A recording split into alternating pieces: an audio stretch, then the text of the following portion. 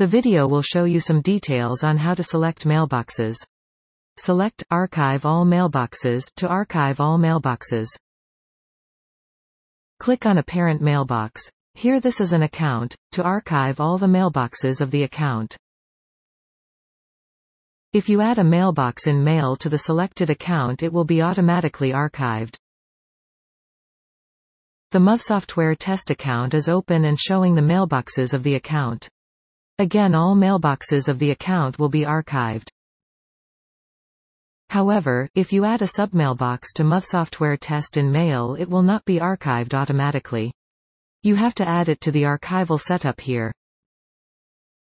Click again on a mailbox to exclude it from archiving. This is shown with a dash instead of a checkmark. Select the spam or trash mailbox to archive spam or trash emails. If an account of an email client shows a yellow triangle then not all attachments of the account have been downloaded.